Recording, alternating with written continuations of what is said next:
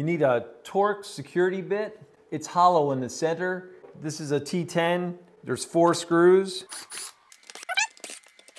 Once those are out, you can separate the pack and the, this top separates from both halves.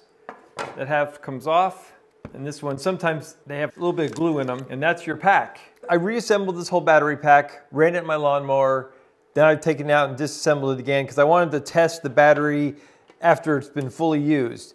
And when I do that, the buttons still gives me, see I'm getting three bars there. Before it was two, but it quits running. Well, I wanted to test and see what was going on with the battery packets, with the individual cells again. Remember, these two right here were our low ones. They were like 3.6, where the rest were 4.09 or 4.1. So now I'm gonna test it again. 3.441, and then the rest of these are all in the 386 range. So all these and all these are 386, and this is 344 your battery's only as good as your weakest cells. And so when it gets down to that, it just says, oh, battery's done.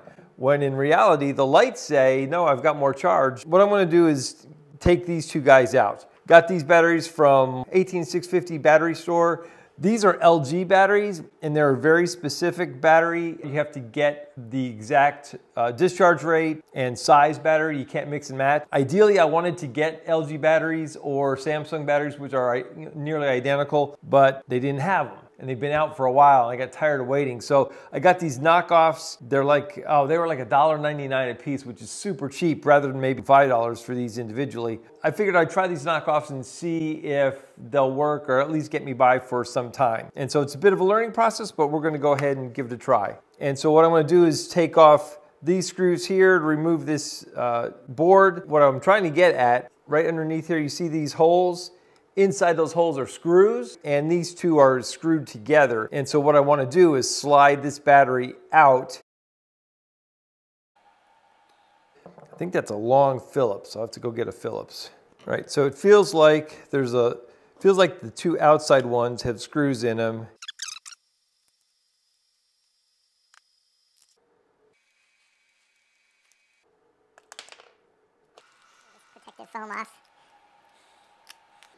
Probably just helps with vibration. Oh, great. It wants to come off this way. Oh, yeah. Okay, I can see a, uh, there's a metal tab that's connecting each of these batteries. Then what we want to do is take off all these wires. Oh, that's fun. Basically just look, doing a quick look at this. It's always good to be able to go back in video and see how it's all put together. Well, this is what I was trying to not have to deal with. That wire there and that wire there, the gray and the white, go to that spot right there and that spot right there. And if I desolder these two and th these two right here, this black one, black one and that one, then the pack will come apart. So that's what we'll do. Just plastic covering for the tops of the batteries. I'll leave a link in the description below. So this is just a simple hobbyist 80 watt uh, soldering iron, some uh, rosin filled solder, basic stuff. All right, so this got our soldering iron and heated up pretty quickly. And so now this is kind of, uh, need three arms to do this task. Okay, I'm gonna just lift up on this wire a little bit while I heat up the solder. There we go. I've only got it 350 degrees, the soldering iron. It can go up to 480, but just trying to go slow. These uh, batteries don't like a lot of heat.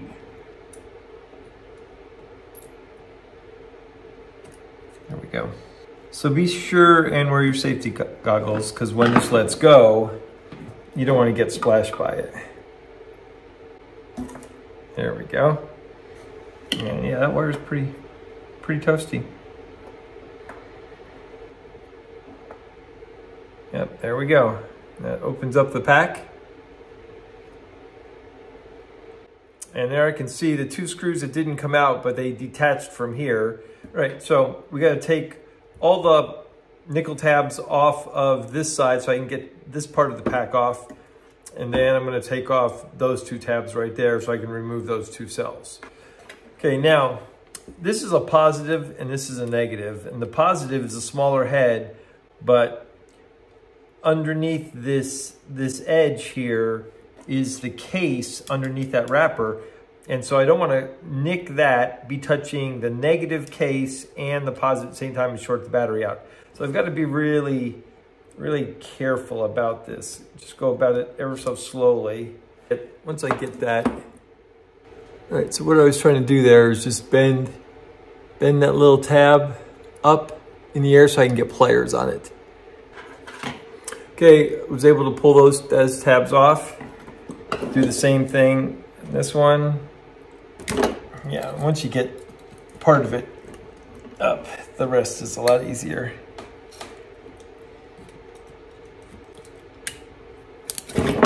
Yep, smoke that battery.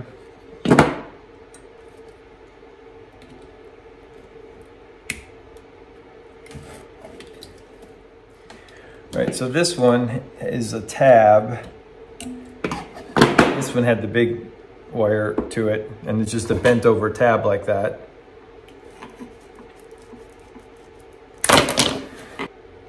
So I just have to remove this one tab right here.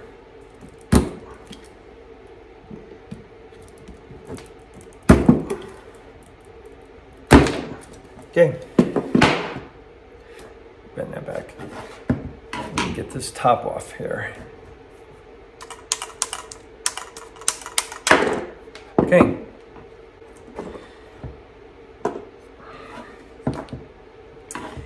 these are the guys that we want gone. And we'll replace them with our new ones. We'll keep those for later use. Maybe those can just be charged up and balanced out, but if not, if you know anything about that, let me know in the comments because uh, this is a learning experience for me if you haven't guessed. So now, let's take our new ones. Okay, now these guys here, I want to get close to the same charge as these have.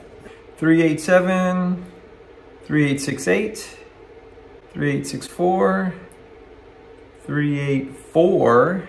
So what I have is a little charger. And so we're gonna go ahead and put them in the charger and get it up to about that. So it started at 359 and they're increasing ever so slowly.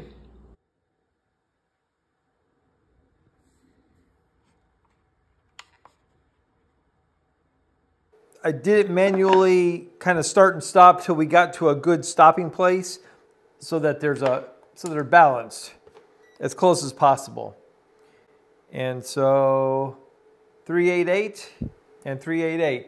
All right, so I'm just gonna scuff the scuff the end of the battery up here a bit with some 80 grit sandpaper. So they're very close. They're maybe a little not a little higher than these, but that's gonna be fine. Now we put them into the pack.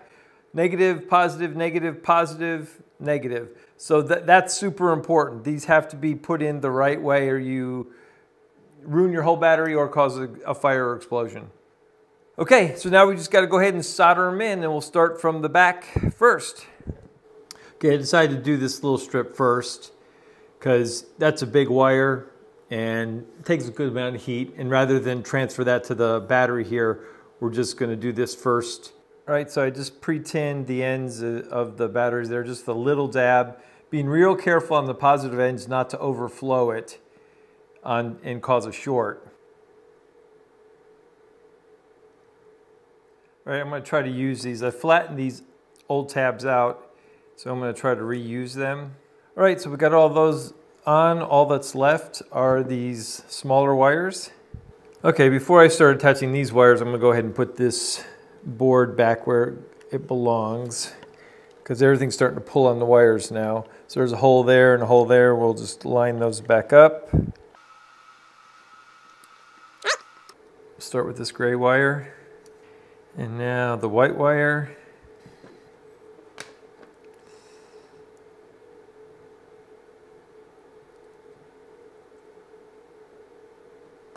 Okay.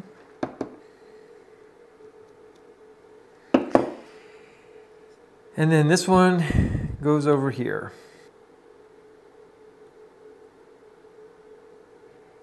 Yeah, it feels precarious, but they're in, that's good and tight. So snap these wires in to their harness clips. Oh, temperature sensor. That's the last one. That was, yeah. We're just gonna put a dab of Gorilla Glue here. This is a limit of 200 degrees. So hopefully that'll be okay. All right, so we can go ahead and press the button here. We got three lights, which is more than what we started with. Oh, I forgot to tighten from this side. Cover on it. I think we can go ahead and put it into its case now because this, this has a flat back.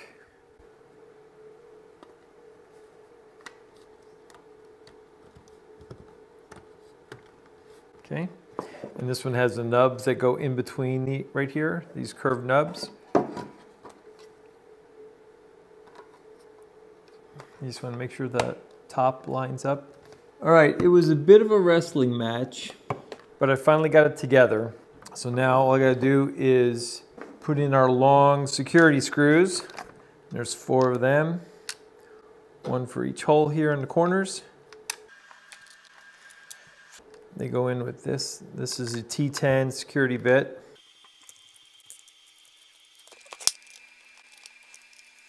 All right, so she's all back together. And yeah, it did take a little bit of effort, but I think we're finally there. So now the test is if she charges. All right, so it's blinking. So we'll just leave it there and see how long it takes to fully charge, and then we'll give her a, a full test run. Okay, so here are the results. Got it all put back together. It charged to 40.98 volts, which was uh, probably brand new, would have charged closer to 42, but still that's a really good number. And it ran for about 17, 17 and a half minutes. Uh, when I, my, the very first time I used the lawnmower, it ran for 24 minutes. This means the battery's somewhere around 70%.